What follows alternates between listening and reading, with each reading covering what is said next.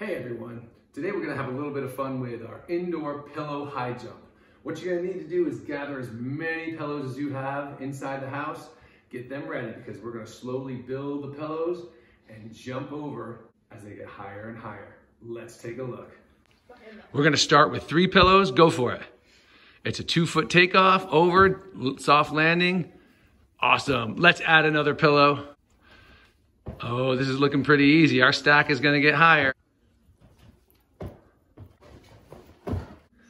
Okay, you can see five pillows was no match for these jumping beans. We're gonna stack up another one, a little bit fluffier. Let's see if we can do six. Go for it. Oh my. Oh, still no touches. And we've made it to seven pillows. I don't think this can be done. I'm starting to lose, uh, I can't even see them anymore. They're getting buried in pillows. Let's go for it.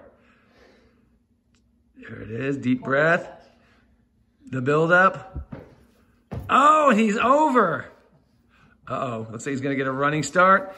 He's over!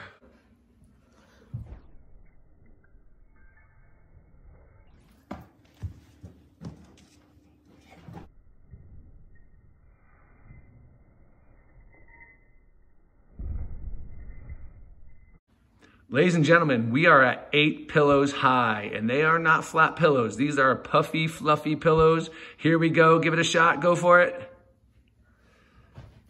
And it's over. Oh my goodness. Yes.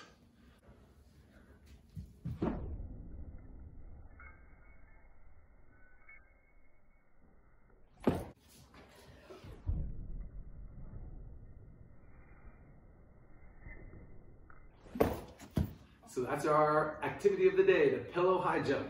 My boys did nine pillows. They're still going, so I don't know. They might be able to do 10.